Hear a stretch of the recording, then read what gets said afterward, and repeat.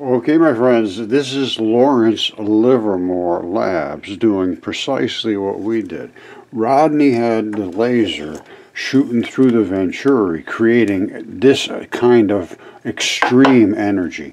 And he was picking up shots with the laser, with the cell phone, this cell phone right here, from these laser, um, pulse lasers going through Venturis and then hitting the just like that, same thing. Now they're doing it with an extremely high energy beam, which is extremely high energy. We didn't need that because we created the high energy by focusing.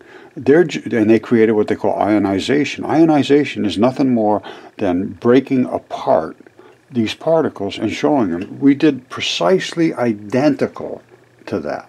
Identical.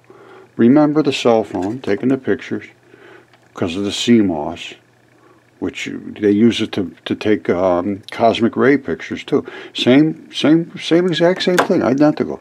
It splashes all this white out of here, and some of it goes in and is, is shown as particles disassociating from each other. And don't forget, this is all this is right here. This is exactly what happened. This laser right here was shot through these Venturi, but it's finely tuned. I just threw this together so you could see. But it was two finishing nails, very tight, perfectly aligned, and shot the laser through. It forced it to accelerate. Then the particle appeared, and then the shower appeared as the particle split. And he was using, this is from Rod Warren, he did this. I did some myself, but not like Rod had it fabulous. He was using the selfie side taking all these pictures, just like they were just showing a second ago, and seeing the actual division of the particles turning to black and white. And here it is right here. Precisely what they want to see at CERN and Fermilab. You see the black separated from the white?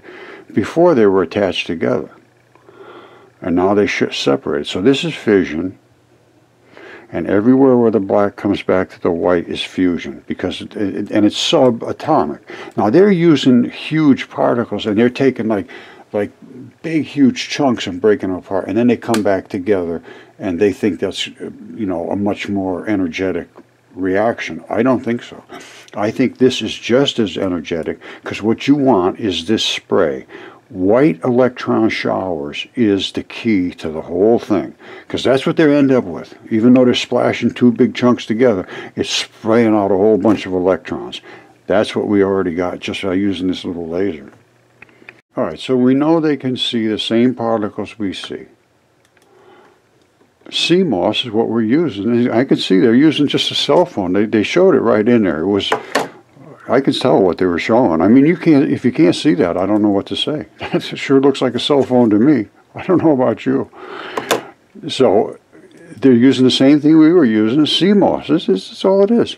And CMOS was known back in 2014 that these smartphones, CMOS, could pick up cosmic rays. And cosmic rays are what we're talking about.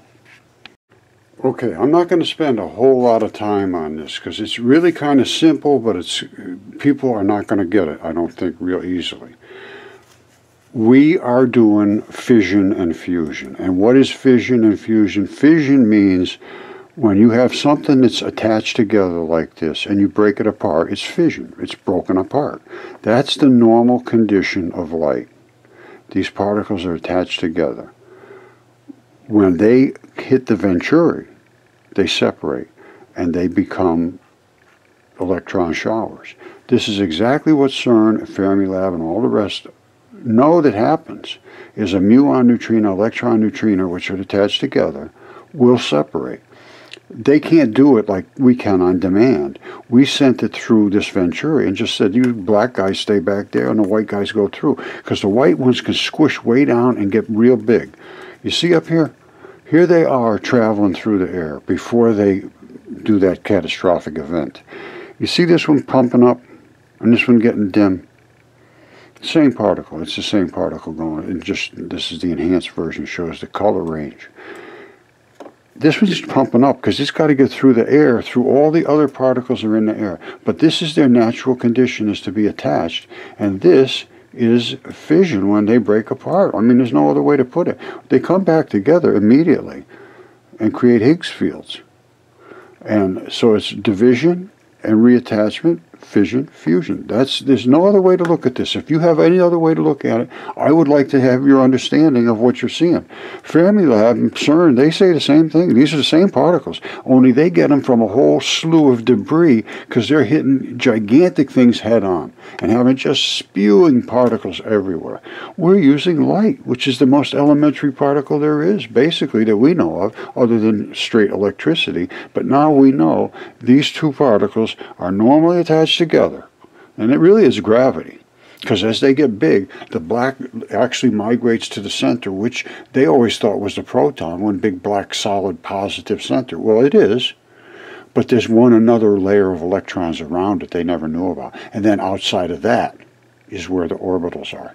So that one extra layer of electrons is, has been missed. Otherwise, you would have one huge, huge, huge proton having one electron volt, and you'd have one tiny little electron having same one electron volt. One would be positive, one would be negative. It doesn't work. They're the same sizes, have the same charges and there's 1823 approximately of each per proton. The black parts go right to the center, and then there's 1823 electrons that code it, and then as you go into hydrogen, one more wants to get in, can't get in. But it floats around outside of that encased central core of dark stuff. I hope that makes sense. All right, what I'm telling you right now is what we did was create electron showers. You see this electron shower from the electron neutrino, which was the white one, turned into a shower. Well, here's what the energy value should be. This is the physics of electron showers. Now, they use proton to proton collisions, and then they reduce them down to hadrons, and that creates the neutrinos, and then that creates the electrons and muon uh, particles which the energy of neutrinos interacting with this device they have is 100 giga electron volts. That's 100 billion to a few trillion. So these are extremely energetic particles. They huge fields of illumination. And that's what we wanted to do was to create that. What they're doing is taking huge particles, smashing them together. They're getting the electrons and muons, but they're getting them from proton-proton collisions. We're getting them straight from light, which is much better, and they wanted to do this. 1970 had a special commission on this to try to do photon collisions. There's no reason that you have to hit something head on. If you can force them to go into a funnel, which is nothing more than a Venturi, they have to crush, and the black particles are just going just like that. Every pulse, boom, boom, boom, boom. The white can't get away. It has to go. And I could prove that. You want to see it? Yes, you do. Of course you do. Why would you not? Here it is coming through. Bam, bam, bam. You see all these little pulses? That's that black being driven against the white. The white has to go. The black pushing it. It's not that hard to understand if once you can get your head around the two particles being separate. And in a nuclear bomb blast, the house will burn up, not even move, because this has no mass whatsoever to speak of that I can find. And then a second later, the block will hit it and take the house down. Might as well show you. Okay, get ready. You're going to see a nuclear bomb is exactly what I just showed you, where that black wave comes out, pushing the white ahead of it. White has no mass. So what happens in an atomic bomb, you have so much particles, when they crush it in, they can't maintain and they go out with a vengeance. And when they do, they all, all the white goes first. Then the black comes after it because it's been just everything's been so devastatingly compressed. Out it goes.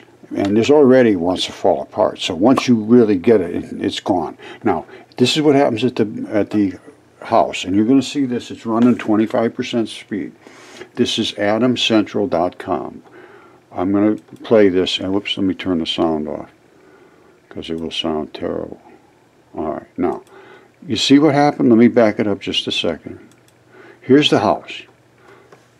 Just laying here. Now, you've got wiring, you've got shingles, you've got siding, you've got combustible stuff. Then you have metal, which is not combustible to speak of. You know, sooner or later it will, but it's not like these things. They can only absorb certain amounts of electrons before they literally combust.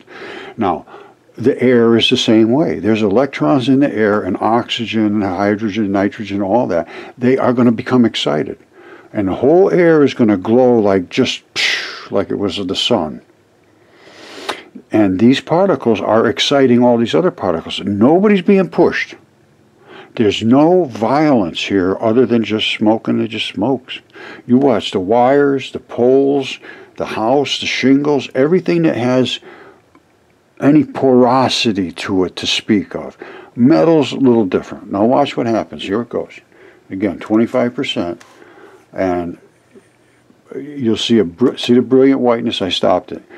Everything, just everything glows. Everything. You're going to see all of these things smoking. You watch. I'm going to stop it again. You see, nothing's moved. Not a single thing moved. It's just burning. Everything here is just smoke. It's not even pushed back. They're just drifting smoke up in the air. You see, it's just drifting up in the air. Nothing going on there. No real push, just like it's smoldering. Now it's already gone. Oh, oh, did you see? I just stopped it again because now here comes the black particles. It just, it literally stops smoldering and here comes the, the black particles and they just uh, drive the house. Now watch, everything will turn around. You see it turn around and come back? There's a void back where the, the, the blast came from and it's got to have things come back to fill that literally attractive void. Okay, there is virtually no difference whatsoever between this, which is a subatomic, it's smaller than atoms, it's smaller than protons, it's light coming through that venturi, and it's allowed some white and some black to come. The black pushes the white. There it is right there. That's where that house was. It burns, it burns, it burns, it burns, it burns, it burns, it goes flying. Well, something has to come back to what was here. And then it turns around and sort of comes back to fill that void. Um, because this that was a one-shot deal. It went, we've got to just pulse them over and over and over, do this all day long. So we can harvest that white energy just like burning that house all day long and just sit there and burn and burn and burn and not push it because we're not going to let the black through. This time we did let it get through. The ones before didn't get through. You see this? No black got through whatsoever. This is where we want to harvest it. This is like we're burning the house, not pushing the house. We're just burning the house. And that would be a collector. Collect down, hold on, and put that extremely energetic particles into some device through a photodiode. A photodiode means you go through one direction only. It can't come back. It goes through and that's it. It's down here and now what are you going to do? You're going to use it to drive something, light something, burn something, heat something, run a car, you know, pump water, whatever you want. And you carry this around in a handheld device. If this works, and I don't see why it won't, because if everything they're saying about uh, electron showers, this is electron showers. You see it? Electron showers. That's what we have here, the white. The black is the muon, and they both came from um, neutrinos, and I showed you that as well. All right, so I haven't I haven't said anything that I haven't shown, and even entanglement. Well, entanglement just means that the black is split from the white, and the white goes into a shower, and the black is the entangled photons. They come back to another one. They don't entangle and stay. They want to go find their own other partner on the other side of the universe. That's ridiculous. They go through, and then they come right back to somebody else. You see this? The ones that got stuck out this side couldn't get through. Somehow these are other ones that are excess or something. That's all I can think of. There's excess black ones sitting around waiting to find white ones. I, I don't know. But I'm sure this one here didn't jump ahead of these guys. I can't see that happening. So that's another little ball of wax we got to deal with. Is there extra black ones laying around? Because they do say that. They say there's extra dark matter in the universe, and, and they can't account for that. And that could very well be because it's something grabbed onto there that wasn't there before. But the, all these black balls are the same size. The only reason you can see them is because they're highlighted from back. See, some of them don't look the same size. That's because they're not highlighted as well as, as other ones, or they're in the midst of the white. So, but they are all they're all the same size, and they're all the black ones are the same size as the green ones and the blue ones. No difference. You see the see the blue? I mean, this is a green. All right. Here's the black, uh, the red. Boy, I'm telling you, my colors. I'm going off with my colors, man. Hold on a second. Where here it is. Here's the red. Got it right that time. That's the red and the black. All right. Prior to that, as they're coming in, they still have the same red and black to them, but they're not the same energetic values. As they change energetic values, as the neutrino flavors and then turn into the photons, then they split. All right, shown this many, many, many, many times, and they just did this at the, this. They, they did it to Large Hadron Collider. They did it differently. They stripped off the dark photons, they call them. Really, they didn't do uh, as good as we did. and again, here's they're using proton protons. They can't get away from that. Well, I think they're starting to because the one I talked about today was all laser. It was 100, this one here is all laser. It's exactly what we did, only they didn't focus. If they had a focus, they wouldn't need this type of a laser, but they're putting it just like we did into a cell phone. And you can see it. The CMOS can easily be seen by action, absolutely individual photons. Nobody's denying this now. They were denying it up until just a year or two ago. I kept saying, yes, we can see it. This was six, seven years ago. I was, I was showing these particles, and they well, they just refused to allow me to present it because they said it's impossible. I said, no, it's very possible. CMOS sees the extreme illumination. And when you have high density pixelation, which you do apparently in this in, in the selfie side, it seems to be very because that's what Rod said. He said I got much better results from the selfie side.